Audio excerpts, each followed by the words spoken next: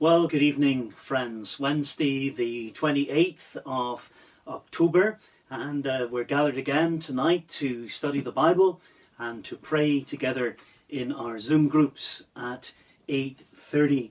Now, as you know, on these Wednesday evenings we are looking together at the book of Psalms, and we come this evening to the fourth Psalm. It seems to me that Psalm 3 and Psalm 4, they kind of belong together. Uh, Psalm 3 is often referred to as being a prayer for the morning, while Psalm 4 is referred to as being a prayer for the evening. And the particular historical context seems to be the same. Now, as we come to Psalm 4 this evening, not everybody would agree with me here. Uh, but I am pretty convinced that the situation in Psalm 3 and the situation in Psalm 4, that David is speaking here about the same problem. Absalom, his son, has driven David out of Jerusalem. He is making a bid for the throne. He desires to become king in place of his father. He's a godless, rebellious young man and uh, he has driven his father away from the city. And that seems to be the problem. That seems to be the background to the situation in Psalm 4, as it was also in Psalm 3. Psalm 3 would appear to be a prayer which David offered in the morning at some point when he had to flee from Jerusalem. And Psalm 4 would appear to be a prayer that he offered in the evening at some point, having fled from the capital city. So that's a little bit about the background uh, to this psalm that we're looking at together uh, this evening. But we hope that it'll touch us in our lives. We need to feel the touch of God upon our lives, and we need to hear the voice of God speaking in to our lives. And, and He does this as we come to His Word. It's here He speaks to us, it's here He touches us.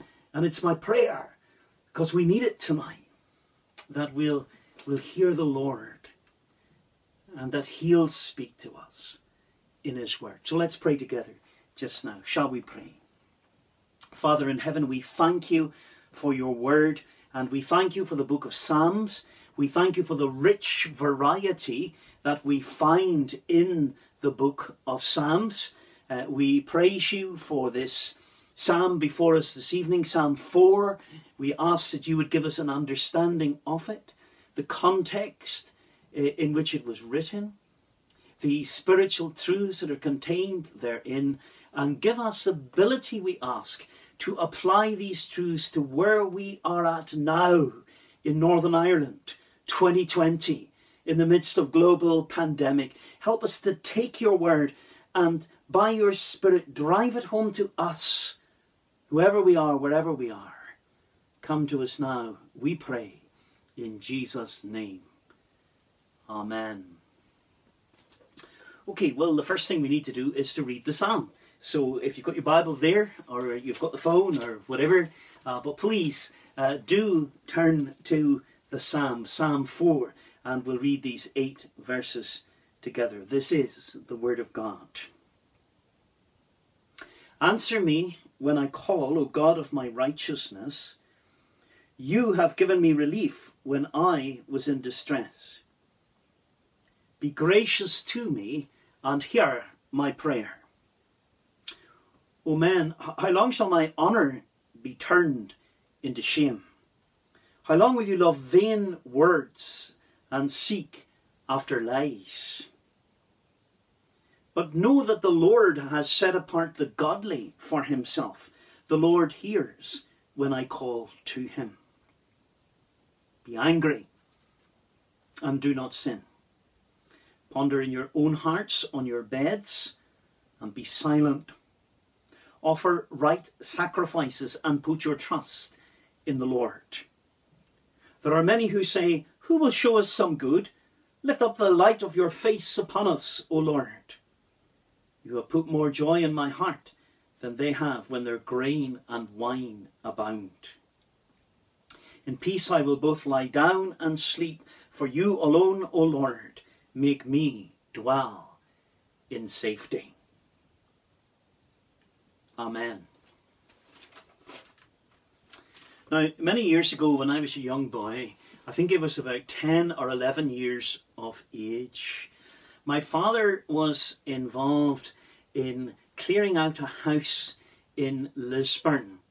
Uh, my great uncle and great auntie had lived in this house and they had sadly passed away. My father was their next of kin, and it fell to him to sort out the house, to clear out uh, the furniture and all the other bits that were there, and to prepare the house for sale. Now, it so happened that that meant that my dad was going up after his work and after tea quite often for a period of time uh, to Lisburn uh, from our home in Belfast uh, with the intention of clearing out the house and sorting out all the bits and pieces and going through the papers and all of that. And I used to often go with him. Uh, and so the day came when everything seemed to have been sorted. There was quite a lot of things left in the house, but there was uh, someone from the auction was coming with a van, and they were going to take away the furniture and all the other bits. It was the last evening that we were going to be there, and my dad said to me, "Now you've been here and you've been helping me," and uh, I, I wasn't really thinking that I had been helping much, but I was uh, I was pretty chuffed, you know, when my dad said, "You have been helping me." You I was just a young lad. I thought, "Oh, oh that's pretty good." And uh, he said, "Well, you can have a souvenir from this house." He said, "Because to be honest, son, furniture and all here, that's not worth very much." And anything that's left here, it, it's really, you know, it's not really worth much, and it'd be quite okay for you just to, you know, go around, you just choose something, one thing, one thing you could have from the house. So I lifted from the wall a, a picture, a, a, a, painting. Now, it wasn't a Van Gogh or anything. It was a picture of a man in a sou'wester and wet gear, and he was on a boat. And uh, he was uh, steering the boat. He was at the helm and he was steering the boat. And, and it was evident from the painting that a storm was raging. Uh, the sea was battering into the boat, uh, and uh, it was at night time, and there he was, standing, steering the boat, his face and his features facially completely calm. Completely calm. And I can't remember if there was a caption on the picture, but if I was putting a caption on the picture, I would have called it Peace in the Midst of the Storm. Peace. And here is David. He is in the midst of a storm. Uh, we saw this last week, and I'm not going to run over all the same ground. This is his son who's leading a rebellion. He's been cast out of the capital city. He's been driven away from his kingdom. An attempt, a serious attempt, is being made to rebel against him and against his authority and to seize the throne. He's, he's God's chosen one, the one whom God has set over the kingdom. But nevertheless, he is having to flee and of course, there were divided loyalties. People that he thought would remain loyal to him have gone over to Absalom. Uh, people who he thought were his friends have let him down, uh, have failed to flee with him, and have chosen to remain with Absalom in Jerusalem. That's David's very personal storm. But notice here what he says in the last verse of this psalm, verse 8 In peace I lie down and sleep for you alone make me dwell in safety. Even though all of this is happening to him, and it's really horrendous, even though the chips are down, he is able to go to bed and sleep at night. Now, I've been blessed with uh, the ability to sleep well, and rare are the nights when I would be awake. Um, and I'm very thankful for that. It is a great blessing. I know some of you, you, you don't have that blessing. Uh, but there have been nights, of course, when I've been anxious about things and they've kept me awake at night. And here is David. In the midst of all of this pressure, the storm is raging around him. But he is at peace. What's your storm? Well, we've all got a storm. It's called the coronavirus pandemic. And uh, we don't, again, need to run over that ground. We ran over it last week. And we run over it every day, maybe several times a day. The storm is raging around us. But maybe tonight that isn't really your big storm. Maybe relationships are falling apart. Your marriage is not in good shape. Financially, you feel you're about to go under. Spiritually, you're making no progress. In fact, you feel you're going backwards. There's problems in dealing with people. Whatever your, your big situation is tonight, that's your storm. And you want, as a Christian, as a believer, as one who has faith in the Lord Jesus, you want to know something of this peace that David was experiencing in the midst of his storm. And how do we get that peace? How do we obtain it? How can it become a part of my experience and of yours? Well, there are three things to notice here in uh, the psalm. Three things, uh, please. If I want to know this peace, the peace of which David here speaks, the peace that can be experienced by Christians, by God's people in the midst of the storm, there are three things I need to bear in mind. I need, first of all, to make prayer a priority. Make prayer a priority. What is David doing here, as he was doing in Psalm 3, in the midst of the storm? He was praying. Look at verse 1. Answer me when I call, O God of my righteousness. You have given me relief when I was in distress. Be gracious to me and hear my prayer. He's praying. He's calling on God. He's remembering that in times past, God has helped him. You have given me relief when I was in distress. He's recognizing that he doesn't deserve anything from the hand of God. Be gracious to me. I'm not coming to you, Lord, and demanding this and that and the other thing because I deserve it. I'm dependent on your grace. So he's praying. He's appealing to God. He's remembering God's faithfulness. And he's conscious that he needs God's grace. And as you look further on in the psalm, you see his confidence in prayer. The second part of verse 3 The Lord hears when I call to him. So, if we want to know this peace that David ultimately experienced, then we have to make prayer a priority. Call unto God. It's David's knee jerk reaction here. Call unto God. The God who has been faithful to you in times past. And as you come to God, recognize that there is a sense in which you don't deserve anything from His hand uh, and cry to Him that He would be gracious to you. And come with the confidence that we see in David. The Lord hears when I call to Him. And then notice, especially in relation to prayer, the first part of verse 3 know that the Lord has set apart the godly for himself. Now, there is a sense in which this is a unique reference to David personally. Uh, God is in covenant with David, God has chosen him to be king over Israel. And so, as you read this verse, you are very conscious of the special relationship that existed between the Lord and David. He is the one whom God has set apart to be king. And yet, there is a sense, legitimately, in which we can apply this statement at the beginning of verse 3 onto every one of us who are Christians. The Lord has set us apart. We're His special people. His eye is upon us. We are the apple of His eye. So if you want to know this peace, and you do want to know it, I know you do.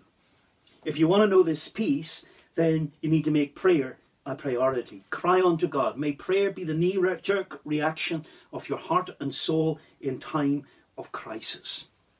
Cry unto the God who's righteous and faithful and gracious. And cry unto the God who will hear your cry. You're special to Him. You're being set apart by God. And have the confidence that we see in the psalmist that He will hear your cry. But something else.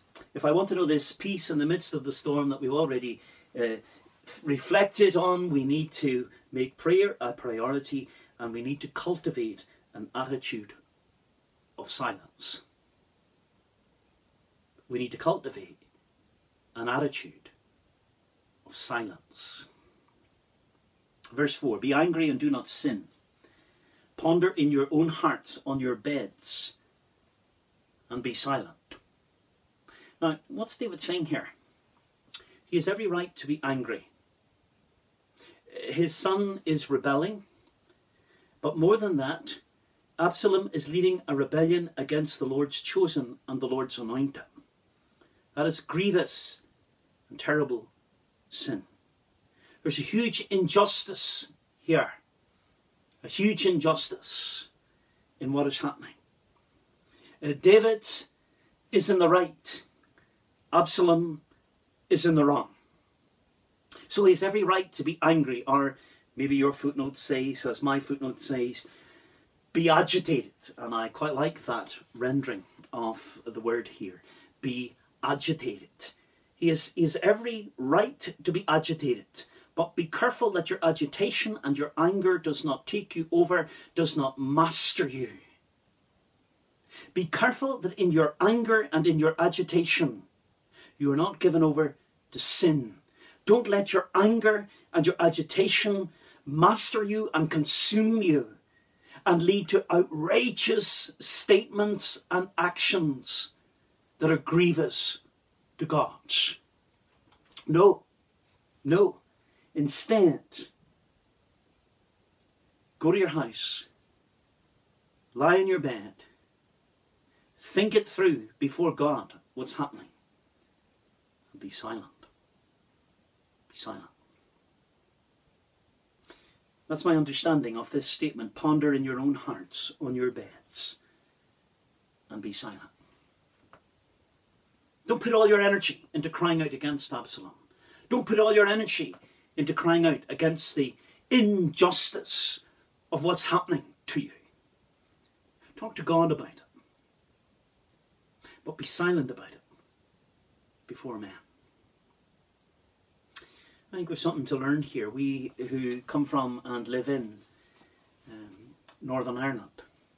And I say this as much about myself as about anybody else. Not having a go at you. It's uh, self-inflicted as well. We like to talk. Boy, we can talk.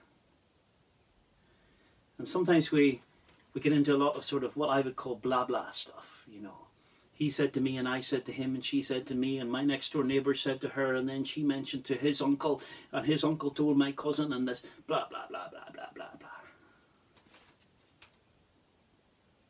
It's not fair, it's not right. It's not just. The way I've been treated. They're not being nice to me. I'm, I'm in a mood. It's not right. Be agitated, yeah probably isn't right, what's happening to you. But be careful it doesn't consume you. Be careful it doesn't take you over. It doesn't master you. And, leads to a situation where you're saying things and doing things that are in themselves sinful. Go to your room, lie in your bed, talk to God, and be silent. So if you want to know this peace that David's experiencing here, you need to make prayer a priority. You need to cultivate an attitude of silence. Channel not your energy into crying out about the injustice of the situation and crying out against those who have been unkind to you. Leave it with God. And then, thirdly, remember what you have and what they don't have. Remember what you have and what they don't have. Don't you see it there in verse 7? You have put more joy in my heart than they have when their grain and wine abound. Well, Absalom and his followers, they're there in the city, and oh, they have all the luxury. Uh, they've the nice divan beds when David and his uh, followers are fleeing and they're camping here and there. They've got plenty of food when David and his followers aren't sure where their next meal may be coming from. Ah, they have they have lots of stuff there. Absalom and uh, his forces. Uh, there's there's luxury for them while there's hardship for David's followers. Uh, but I have more joy in my heart, says David. I have more joy in my heart, uh, much more than what they have, and I'm more richly blessed than they are. You see, this is the perspective of a spiritual person. Okay, in terms of material wealth and uh, all of that, they're doing pretty well. Yep, they're, they're certainly better off than I am. Yep, uh, they, they certainly have more than I have and uh, they've got a swagger to them. They've got a swagger to them. Oh, they're they're fine in terms of this world's goods and all of all of that. Ah, but they don't have Jesus. They don't have Jesus. They don't have the joy of Jesus in their hearts. We who are in Christ, we have everything. We have everything. Don't get overly agitated about the seeming successes of the men and women of the world. Don't get overly agitated about those who are godless who seem to be triumphing. Oh, they may be doing well, but they don't have Jesus. And they don't have the joy of Jesus in their hearts. You want to have peace in the midst of the storm. Make prayer a priority. Cultivate an attitude of silence.